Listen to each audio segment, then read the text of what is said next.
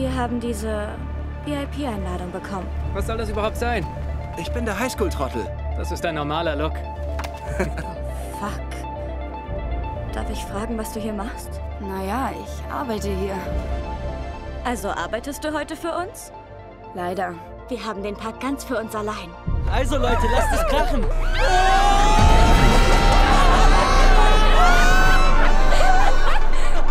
Keine Angst. Ich beschütze euch, wenn euch was passiert.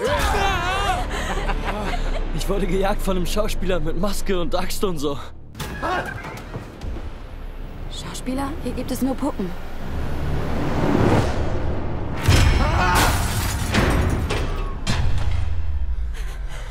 Fuck.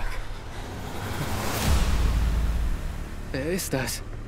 In die Kabine, beeilt euch! Schneller, schneller, schneller, schneller! Verpiss dich, du Creep!